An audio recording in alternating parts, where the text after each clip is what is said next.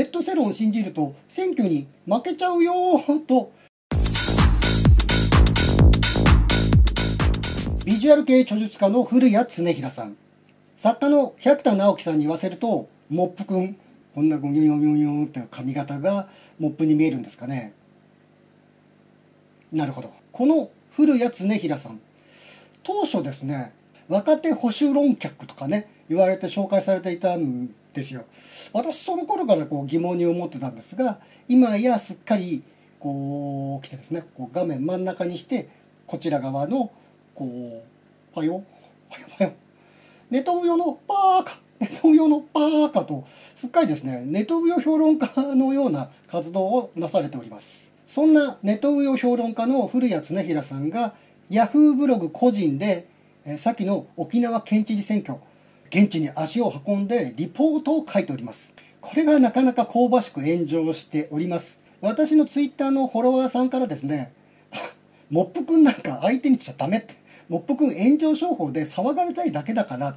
というアドバイスをいただきました。なるほど。古谷さんの論考はですね思い込みが激しすぎていつも読むのに苦労するんですがそこをですねこう丁寧に区分けしていった時にこんな人たちこんな人たちがですねとても嫌がっている部分というのが見えてきたんですね。記述の内容も平たく言うとデマじゃねっていうようなところが多くですね。これをこのまま放置しておくとこんな人たちはですね古谷が言ってたということでこの古谷論考を論拠としてネトウヨのバーカとか言い出すんですね。なんでこれは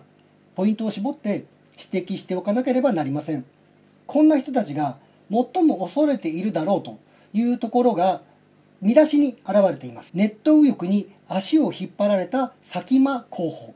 古谷論考は9つのブロックに分かれていてそのうち3から7まで実にですね半分以上の箇所がネトウヨのバーカに費やされております。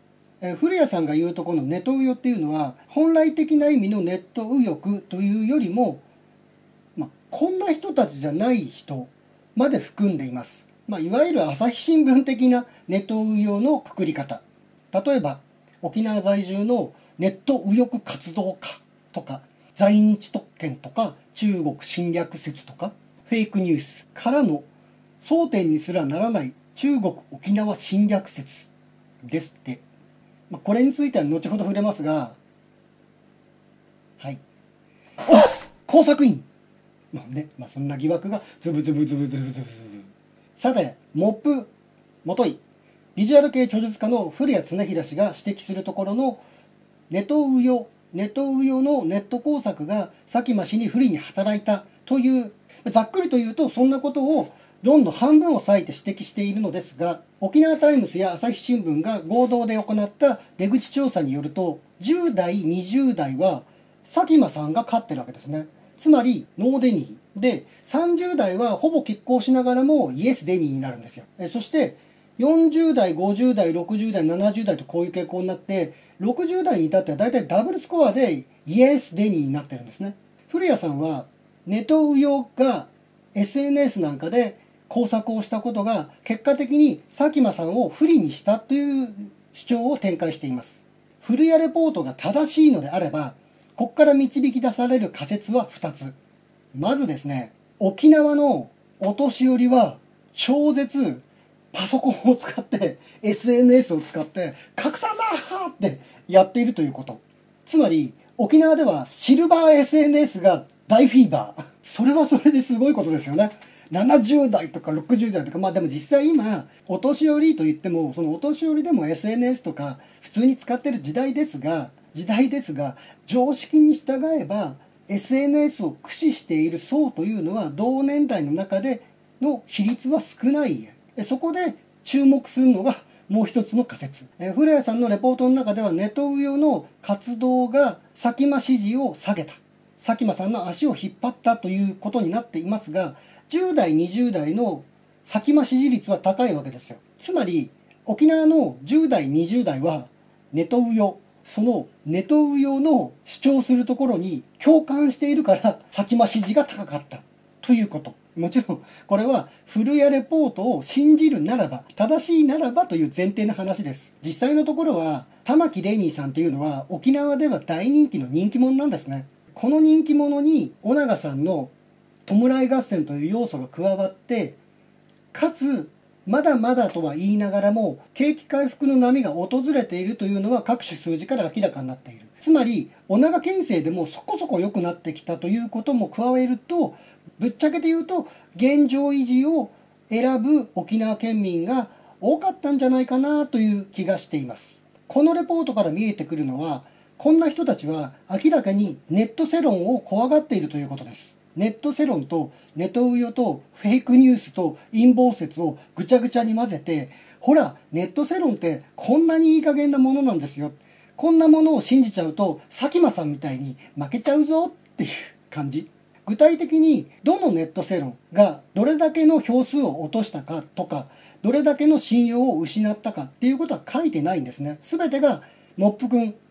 もといビジュアル系古谷さんの思い込みで書かれている。えさらにですね固有名詞を避けることで特定を避けたんでしょうがガナハ雅子さんがネットに投稿していた玉城デニー陣営からですねバーカバーカバーカと言われている動画とかについてこんなのねえぜみたいな記述があります。でもこれ動画で拡散されてるんであるんですよ。ガナハ雅子さんが凱旋していたら玉城陣営のねこう横断幕持ってるところであの横断幕持ってる人たちからバーカバーカみたいなことを言われている。ネットにはですね玉城デニーさんに不利な情報もあれば佐喜真淳さんにも不利な情報も出てたわけですよ。でただその中で一番拡散されるのはファクトなんですね。事実。今沖縄で何が起こっているかということを日本国民が共有できる。当初は知名度で現職国会議員でもある玉城デニーさんが圧倒的に有利と言われていた。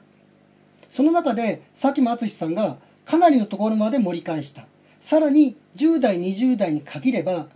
先回しノーデニーが増えている。常識的に考えれば10代20代はテレビや新聞なんか見ずにもうネットスマホネット動画なんかで情報を得ているそう。そしてこれは人類の営みにおける冷徹な現実ですがこの10代20代はいずれ20代30代40代50代60代となっていく。またツールというのは嫌おうがなしにゆっくりとながら確実に全ての世代に行き渡る。つまり今以上にネット世論ネットの情報 SNS が選挙に与える影響というのは今後どんどんどんどん強くなっていく。それを困る人たちがいて今のうちにネット世論なんか嘘ばっかり。ネット世論を信じると選挙に負けちゃうよという目的でこのレポートは綴られたのではないかという疑惑を私は持っています。というのはもともと古谷さんって保守系とか言われてたんですが彼が朝日新聞に大切にされるようになったのは、えー、若者は本当に右傾化しているのかという論考が朝日新聞の目に留まってそれからスルスルスルスルスルスルスルスルスルとこうなっていったそして中国沖縄侵略説なるものを古谷さんは嘲笑気味に否定していますがその論拠としているのが仮に中国の工作員が入ってきたら市ヶ谷とかの自衛隊の施設のところに潜入するんじゃないか。と展開してですね少し常識で考えれば分かるデマです なんつってんですけどこのロジックでいくなら沖縄には在日米軍があるわけですよ。工作員のターゲットが沖縄にあるんですね。さらに古谷さんは中国に工作員などいないと断言します。そして中国工作員による破壊工作を沖縄西が隠蔽工作などしていないことは他でもない。沖縄県民が一番よく知っていることだ。と断言するんですが、隠蔽工作ってバレたらおしまいなわけですよ。工作員も姿がバレたらおしまいなんですね。古谷さんって本当にあれですね、あれ。大体中国に限らず世界中の工作員が日本国内のあっちこっちにいるっていうのはもうほぼほぼ常識で逆に沖縄にだけいないって考える方が無理があるわけですよ。今回はネトウヨのバーカと ほら朝日様朝日様僕はこれだけ忠実ですよ とやるために作られたものでまた一つモップ君いやもといビジュアル系著述家の古谷恒平さんの伝説の1ページに泥いや輝かしい足跡が残されたなと呆れるばかりの今日この頃でございました。ご視聴いただきありがとうございます。またの機会もお付き合いいただければ幸いです。今回も最後にワンコのコーナーでお別れです。安